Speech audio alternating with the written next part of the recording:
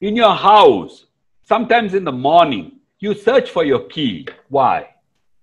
Because you did not keep the key in a proper place. When you keep it in the wrong place, you'll have to have difficulty to search for it. If you store it properly, you can retrieve it easily. So how first you have to show children how to store. Then you can tell them how to retrieve. Logic basically shows a proper system of storing information so that you can logically retrieve it too. Computer does that, internet does that, it goes and stores with tags. So you can you can very easily pull it out. Otherwise, in Google, so much information. How is the algorithm put across? Basically, because there's a logic to it. So learning itself is completely dependent on logic. So next question, please.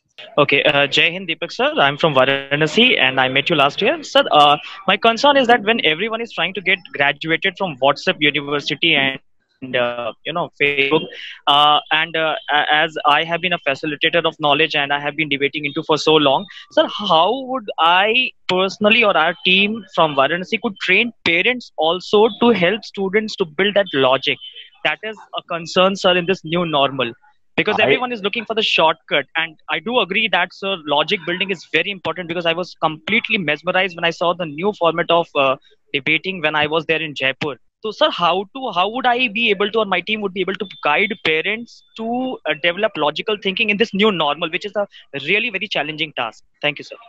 Okay, so it's, it was inherent. It was inherent in our culture that people were supposed to, you know, employ logic. Tarka Shastra. Tarka Shastra was part in the basic character of our thinking. Everything was questioned, but today you can't question anything because if you question, you actually shake the fundamentals of things. And nobody wants those fundamentals to be shaken because it's politically convenient for everybody on every side. So people don't want you to think. People don't want you to question. See, people are okay when when uh, Shankaracharya goes to the uh, what do you say the banks of a river and uh, he actually sees a chandal and he says, Move. And the chandal says, Are you asking the body or the soul to move? And uh, it becomes a point of enlightenment for uh, Shankaracharya. He didn't say that, Who are you to question me? Somebody who is supposed to be the embodiment of God Himself or the epitome of learning. No, he said, this is learning. Because you know he sees you know the lord himself you know educating me about the difference between the soul and the body. And how because of illusion that you could that you could uh, be so uh, poor in your comprehension. So i am trying to tell you that it, we have reached a very very sad state where we have removed logic we have removed reasoning we have removed rationality. Particularly the indian culture indian religion is not against logic. That's why you can question. That's why Buddha said, you need not accept everything that I say. You should reason it out. Buddhism has logic and logical thinking and debate and tarka inherent in it. That's why uh, Nachiketa in the first Upanishad questions his father because he thinks his father is doing something wrong by donating all these old and you know useless cattle. Because he says that if at all you have to donate such cattle, instead donate me. He says. Nobody said how come Nachiket, who is you know uh, who is supposed to be uh, what do you say such an obedient son, uh, question his father you can question your father too when you know your father is doing wrong is something Indian culture taught. But no, now the new norm normal is about just accept things. It's basically about us being cattle. You just have to put your head down and move. So I think that is something that we have to, we should tell India is not the kind of India that it's being made out to be. We'll have to question. Only then the intelligence develops. Only then, you know, philosophy develops only then science develops, only then math develops. Otherwise, you will only have perhaps all these dogmatic places and no centers of intelligence in this country. If you don't want that, we should all get together and tell the world we should lay emphasis on reasoning, rationality, questioning, intelligence, logic, and so on. So I think it cannot be done just with one person, uh, like one interested teacher in Varanasi. I think all the teachers who really are dedicated to teaching should understand the importance of questioning. And then not questioning just for the sake of questioning, questioning to learn. There are two kinds of questioning. One you question to disrupt, another you question to learn. We should question to know. We should question to find out. We should question to improve ourselves. We should question to develop ourselves. That's the kind of questioning we should encourage, and such kind of questioning should come out naturally too. Next question. Uh, I just have a doubt. Everybody is not able to express it, uh, express whatever they feel uh, very, I mean, openly and confidently how do we develop this uh, communication skill? Some of the strategies can you please suggest? Okay very nice. One of the reasons why a lot of people can't express properly is because we in india have a great problem with language. Yes. we have more than 3000 languages. We don't know in which language we need to express. We never give confidence to our children that they can you know express in their mother tongue and can be happy with it. We say your mother tongue is tamil you have to know Hindi, then you have to know Hindi or uh, English, then you have to know some other foreign language. But ultimately, we don't tell them what is the importance of expression at all. See, for example, a lot of people feel very inhibited when they express. And we create such problems about language. We don't, and also the problem is that we have so many cultures. We don't know how to address whom, how to relate to someone, how to say something why how not to say something and so on. So we create so many you must have seen people who speak very well the moment you hold a camera to their face they can't speak at all because they don't know how to speak formally. They don't know how to speak informally. They don't know how to you know begin something. Sometimes if they begin they don't know how to end it. I tell you the biggest problem has been about language. One of the other problems also like you know when you teach in the class some children cannot understand you, not because they are not intelligent, it's because they have a problem in comprehension, logical comprehension. They don't know how to understand what you're saying, and that doesn't mean that they are not intelligent to understand. They just don't know. Sometimes they may not be understanding your language. Their language and your language, there could be so much different. Your accent and their accent, there could be a lot of difference. You understand? So, what I would like to tell you is that one of the things about expression is that you should get children to feel extremely comfortable with life. That's why, see, in Indian homes, a lot of homes, they do this baby talk with children, which I, which has already been proven that which is very, very detrimental to a child's growth. The child does baby talk, you do baby talk with the child, the child actually, till the extent the child actually has to develop language, will never speak the language properly. And suddenly you expect the child not to do baby talk and speak properly, and the child would have already learned the wrong language. So you have to talk to a normal child at a very young age itself in proper language. If you want the child to learn proper language.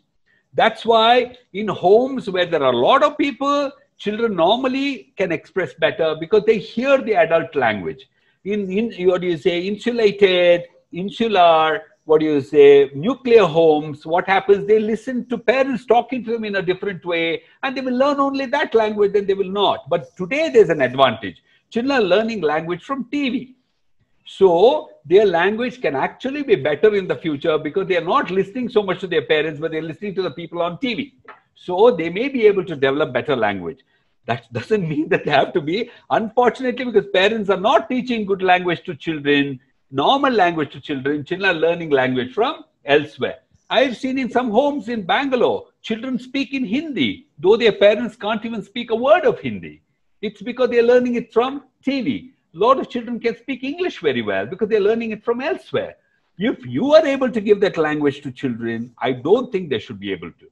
So I think the first thing you need to do is that give confidence to speak and express, not correct them too much because you have to have those hiccups. I speak so much now. Till seven, I was very good when I was very young. I could go and give a speech. But when I was in seventh standard, I had developed such inhibition, I could not speak at all. I used to find it very, very difficult to speak. And uh, in seventh standard, I was invited to go and speak on the stage. I would have, I would have had a heart attack, I tell you, because I was afraid of making mistakes. Most people can't speak well is because they're afraid of criticism. They don't want themselves to be seen as jokers. Like I said, they don't want other people to laugh. It's okay if they cry, but they don't want people to laugh because of them. You understand? So you should get them to get hardened from within. If you make them too sensitive about, you know, public opinion, they will never ever be able to speak well. If you make them very sensitive about their grammar, language, they'll never be able to speak well. You should tell them it's okay, but you should also correct them, but not correct them before they go onto the stage. Maybe after that, you should tell them it's always better for you to speak than be perfect and not speak at all. I think that should be the beginning of good training in speech. Yeah. So you give example with regard to encouraging children at home. Hmm. Uh, You, uh, talking- what is you, that? you said school, right? I said Yes, even sir. in school. Yeah, teachers. what- I would be more afraid of making mistake in front of my teacher than in front of my parents, right? Yes. Yes. I would be more afraid of making mistakes in front of my classmates or maybe Ye- the boy I like or the girl I like, which is very natural. Let's not actually pretend like we are in some puritanical society. There are these emotional problems a lot of young children go through, which they may not actually hold placards and show to others saying that this is what it is. At very young age itself, there will be such equations between boys and girls and boys and boys and girls and girls and all that emotional, egoistic, and different kinds of equations. So a lot of children are looking at approvals from some, some people and they don't want criticism. They don't want to become jokers. So what you have to do as a teacher, you should first of all make them feel that it's okay to be wrong. It's okay to be criticized. It's okay for somebody to, you know, be bad to you. It's okay for them to laugh at you. It's okay for them to throw tomatoes at you, or even as long as they're not throwing stones at you. It's okay for them to do anything to you as long as they're not killing you. You understand? You should make them feel. And I'm sure most of you also have those problems. Some of you speak so well. You are invited on the stage, you also start blabbering, you also start stuttering. The problem is there. And how will you ever be able to teach your students about being confident? And please show them how it is to be confident. So I think as a teacher, you have to work on that because you have first is about insulating them against criticism. That's the only problem because people are afraid of how they are being judged. You can't tell people don't judge them. People should. In Verbattle uh, club activity, we have one thing. We have the children to go in front of one child to go in front of the class. And all the children in the class have to say all that is bad in them. You would be surprised after such exercises four five times, the child is not afraid of anything that is being said by anybody. I don't have the courage for that. I tell you, I do. I can't go and start because I'm brought up with a different culture altogether. But I'm happy. These children I'm working on, they are going to grow up so bold that they're not worried about anything. They say, you know, you're snobbish, you're egoistic, you're very jealous. You know, you have, you know, you you you do all sly things. You are you are a, you are you con others they just listen. Sometimes I feel actually only once I saw this boy who listen, listen, listen, and he burst out crying. But then I said, It's okay. But uh, do you forget that you did to the other boys too? Then he said, Okay, okay. Then he said, After a few classes, he was perfectly all right. You got it? Many parents, oh no, it's emotional trauma. If they don't go through that emotional trauma, I'm sure that you know the kind of problems that uh, you you know Uh, Bollywood is having now, or you know what's happening with all these elite society where you protect, protect, protect, and they find protection with some some other psychedelics. I tell you, no, you should be able to handle your emotions. You should be able to handle. I think more than anything else, you should be able to handle trolls. Small children, they can't go on WhatsApp, they can't go on Facebook because somebody is trolling them. You will never know. They can't fight it. They're going into depression. What are you going to do? You never teach them. You think everything is hunky dory because they are behaving normally in front of you. You don't put them through any psychological test.